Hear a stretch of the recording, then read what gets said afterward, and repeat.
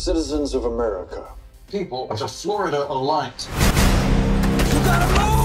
and the Western forces of Texas and California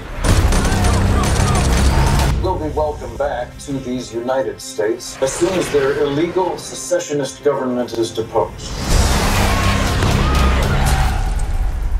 You don't know what side they're fighting for. Someone's trying to kill us. We are trying to kill them.